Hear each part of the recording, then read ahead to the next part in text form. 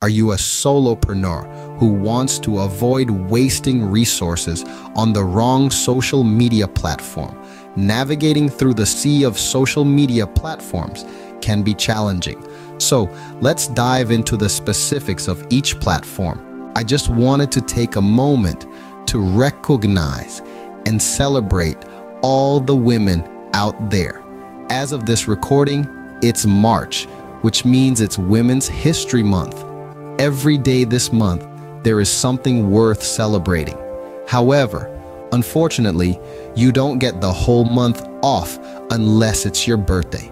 Speaking of which, if it is your birthday, then happy birthday. Feliz cumpleaños.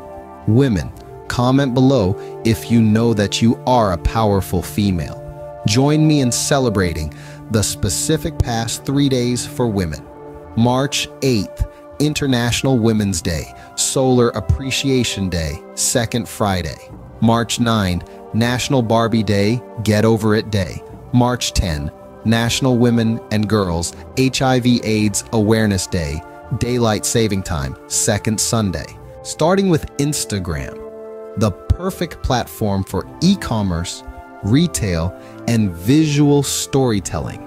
It's a visual wonderland for brands that can flaunt their products or services through images and videos.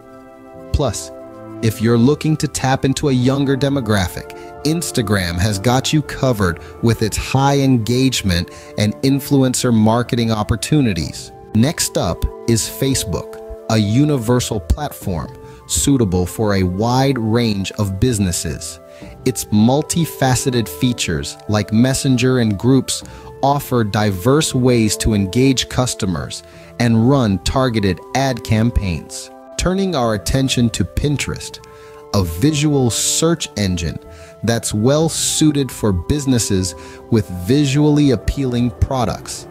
It's especially effective if your target audience is women aged between 25 and 54. Now, if you're aiming to capture the attention of younger demographics, specifically females aged 10 to 29, TikTok is your go-to platform.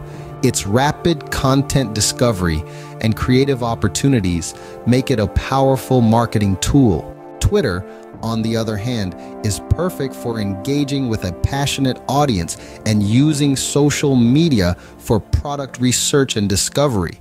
Its real-time nature makes it ideal for discussions, debates, and sharing views. LinkedIn is your platform if your focus is on professional networking, B2B businesses, and demonstrating industry expertise. It's a hub for professionals, offering targeted advertising and opportunities to showcase thought leadership. YouTube suits both B2C and B2B companies that can produce video content. Its global reach and high engagement through video content make it an excellent platform for tutorials, demos, and establishing brand authority. Snapchat is highly effective for B2C companies targeting younger demographics, particularly females aged 15 to 29.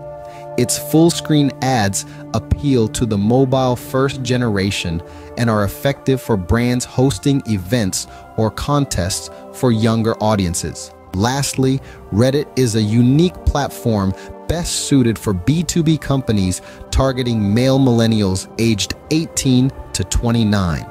Its unique community and content style are suitable for awareness and consideration campaigns. Beyond choosing platforms, it's essential to develop a focused strategy. Select one or two platforms that best match your target audience and invest in high quality content. Develop a content strategy and calendar.